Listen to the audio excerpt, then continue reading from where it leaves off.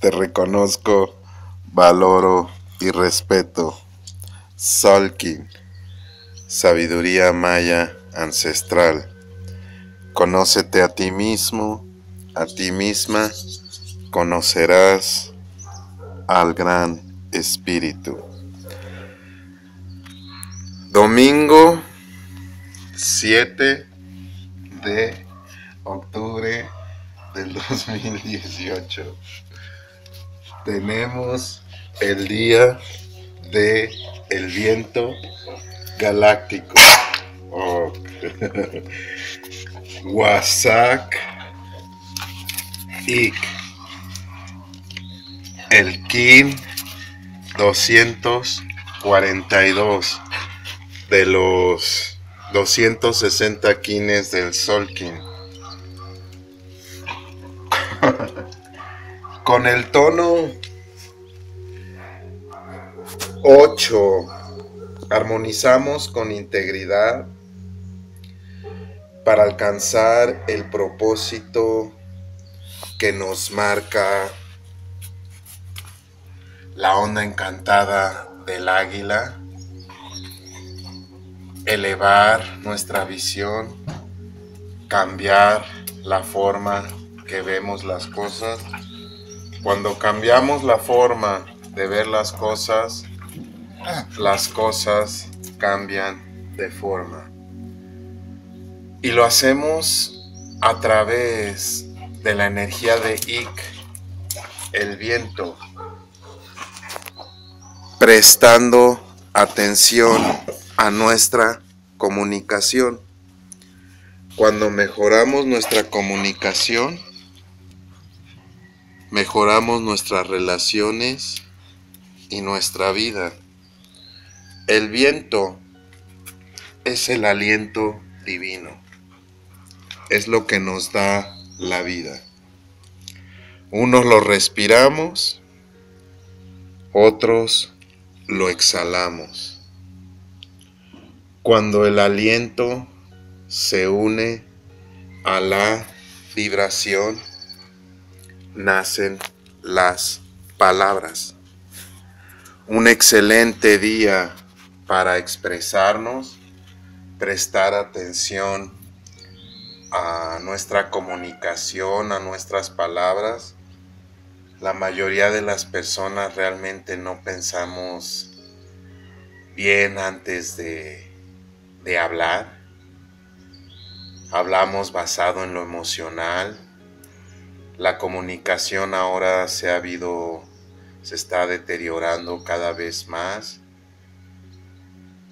Y cuando realmente prestamos atención, la mejoramos, mejora nuestra vida. No es tan importante lo que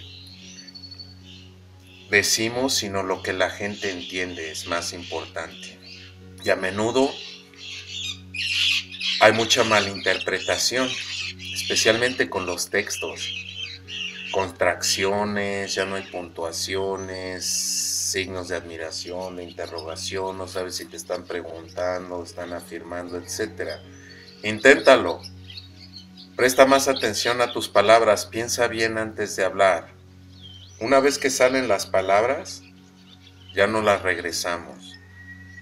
El viento, al ser un número 2, en la cosmovisión maya los números no solamente son para contar, también tienen cualidades. Y el número dos es la dualidad. Hoy es un buen día para prestar atención a nuestra dualidad, a nuestra luz y a nuestras sombras. Todos tenemos sombras. La mayoría las negamos porque así nos han enseñado que las sombras son malas. Los, las niñas se deben comportar así, los niños no lloran, etcétera, ¿verdad?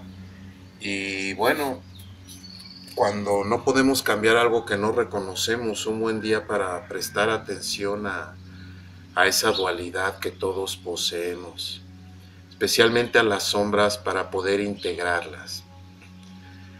El viento también es el espíritu y nos recuerda que estamos co-creando esta experiencia con la divinidad.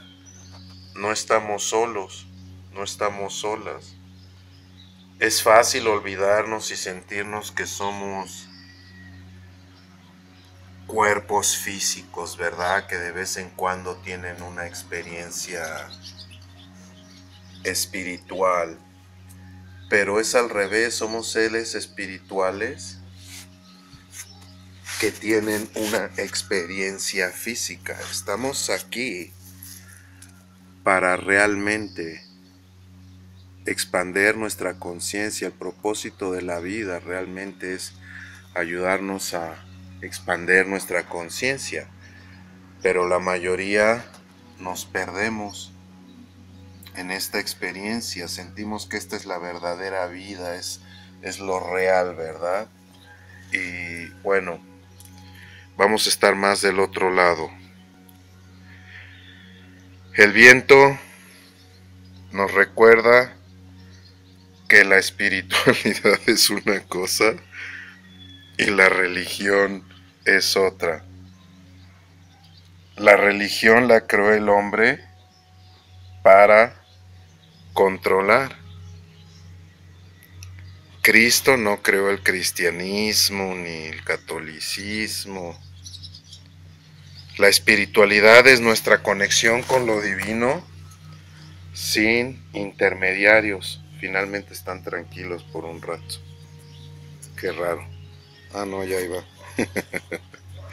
Entonces recordar porque en la sombra del viento podemos sentirnos apartados, separados, nos perdemos, sentimos todo nada más lo físico, ¿verdad? Bueno, el tono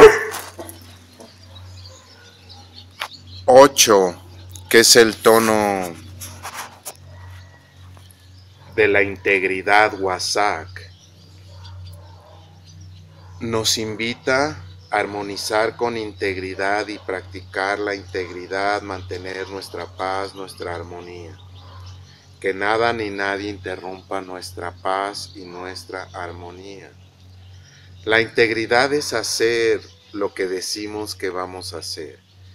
Es hacer lo correcto cuando nadie nos está viendo porque la mayoría de las personas pensamos una cosa, decimos otra y hacemos otra. Hacer lo que decimos que vamos a hacer. Se puede confiar en nosotros. Practicar la integridad. Si te ves en una situación donde tu integridad se ve puesta a prueba, recuerda, no nos llevamos nada más más que el nivel de conciencia y la mayoría de las personas pues no somos íntegras realmente.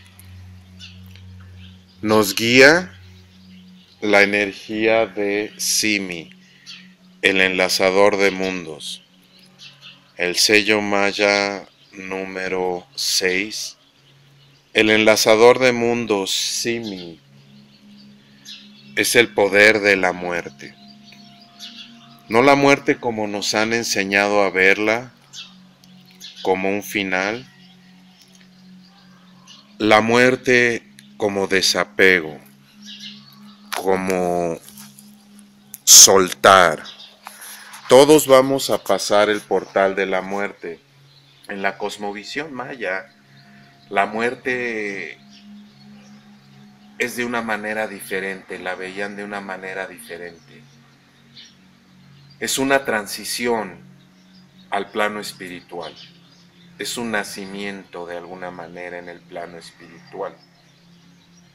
Todos lo vamos a transitar y dependiendo nuestro nivel de conciencia es cómo va a ser esa transición. A la mayoría de las personas no nos gusta hablar de la muerte, ¿verdad? Bueno, es como un tabú, no hables de eso, como que miedo, así nos los han inculcado. Pero hay que entenderla, saber que no vamos a estar aquí todo el tiempo y que estamos aquí para realmente demostrar el conocimiento. Una cosa es saber, una cosa es el conocimiento y otra la sabiduría. El conocimiento es saber la sabiduría es demostrar que sabemos. Ahorita no se ha cortado el pasto y vean qué maravilla de todo lo que crece. Vean estas plantitas, qué hermosas que crecen aquí. Vean nada más los colores, estos no los había visto como púrpura y eso. En verdad es algo tan hermoso. Vean acá hay otra pequeñita de esas. Qué belleza. Gracias. El enlazador de mundos nos invita a soltar, a practicar el desapego hasta del desapego mismo. El desapego no es poseer nada, es que nada nos posea. La mayoría de las personas tenemos muchos apegos. Creemos que la felicidad depende de alguien o algo, ¿verdad? La mayoría buscamos el alma gemela, ¿verdad? Esa, esa persona que si encontramos nos va a hacer feliz. Y la felicidad es una decisión personal. Nadie ni nada nos puede brindar esa paz, esa felicidad que no hayamos logrado en nosotros mismos, en nosotras mismas. La felicidad es una decisión personal. No digo que es mejor estar solo, simplemente aprender a estar solo, sola. Si no aprendes a estar solo, sola, a estar bien contigo mismo, tus relaciones se van a basar en la necesidad y no te vas a dar cuenta. Se van a hacer codependientes, ¿verdad? como sentir que alguien me brinda la felicidad. Y al principio cuando uno se enamora te van a brindar esa felicidad porque la mayoría de las personas somos falsos. Suprimimos las sombras, complacemos, identificamos las expectativas de la otra persona para de alguna manera agradar, ¿verdad? Es conquistar. ¿A poco no? nos volvemos complacientes y aunque no nos guste una cosa, si le gusta a la persona y la queremos conquistar, decimos que nos gusta también. Entonces somos muy interesantes. Ya la mentira se ha hecho parte de la vida de las personas, ¿verdad? Mentiras piadosas y todo este tipo de cosas enfermas, ¿verdad? Que nos han inculcado y bueno, que sentimos que es el camino. Pero ha llegado el momento de despertar de ser más conscientes. De otra manera seguimos repitiendo patrones constantemente. Y bueno, el enlazador nos recuerda que sin crisis no hay entendimiento. Si estás pasando algún tipo de crisis, va a pasar, créemelo. Y trata de ver qué es lo que te está tratando de enseñar. La crisis se da cuando el universo, el gran espíritu nos invita a hacer algún tipo de cambio. Ya van a empezar, como les digo. Algo que hemos negado y ahora ha llegado el momento de, hacer ese cambio. Entonces da la crisis para llevarlo a cabo. Toda crisis es, hay un regalo, es una oportunidad escondida y bueno, estamos ahora en el peldaño número 8 de la onda encantada de Men, el águila. El águila estos días nos invita a, a tener más compasión. El águila es la compasión, es el servicio. A cambiar la forma que vemos las cosas y las cosas cambian de forma. Si estás pasando una situación densa, te garantizo que va a pasar. Y, y bueno, trata de ver en vez de por qué me pasa esto, para qué me está pasando, qué puedo aprender. El águila nos recuerda que no hay mayor llamado que brindar servicio. Cuando brindamos servicio a los demás, cada acto se vuelve un acto de sanación para la tierra. Un excelente día para realmente brindar servicio desinteresadamente, apoyar, Gratitud infinita a las personas que han apoyado. Claudia ya en Palma de Mallorca, gratitud infinita por tu apoyo. Y Leonardo, personas que, que me han apoyado, hay mucho apoyo. Quiero agradecer, ven cómo le jala los cachetes, cómo no le duele. me impresiona. Si te interesa conocer más acerca de tu, la tendencia de, de tu dualidad, conocerte más a profundidad, conocer tus retos, tus dones, de acuerdo a una sabiduría ancestral, tu carta natal maya de autoconocimiento con enfoque terapéutico es una herramienta maravillosa. Ebook con más de 50 páginas con información valiosísima de tu camino de vida y un video de 35 minutos en una lectura que puedes ver varias veces para ayudarte en tu camino. Si estás pasando una situación densa, en verdad, es como una terapia, ¿eh? te va a ayudar muchísimo a entender. Los mayas son los maestros del tiempo. Ninguna otra cultura estudió los astros tanto como lo hicieron los mayas. Y, y bueno, si te interesa, visita astrologiamaya.com. Hay un enlace con toda la información. Gratitud infinita por su atención, los reconozco, valoro y respeto. También estoy llevando el taller Solkin vía Skype este domingo 7, si te interesa. Es de 11 de la mañana a 1 de la tarde, hora de México. También visita astrologiamaya.com. Luz, paz, amor y sobre todo entendimiento en su camino. Los reconozco, valoro y respeto. En la que es. Hay un Hunapku, Eva Maya, Emajo.